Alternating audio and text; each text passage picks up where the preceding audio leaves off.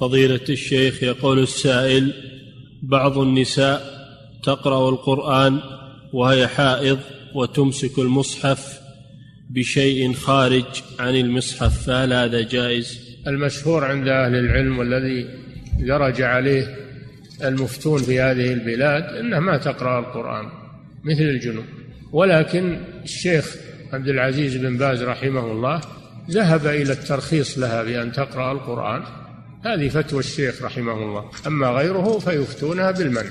إلا إذا اضطرت مثل إذا خشيه النسيان كما قال شيخ الإسلام ابن تيمية.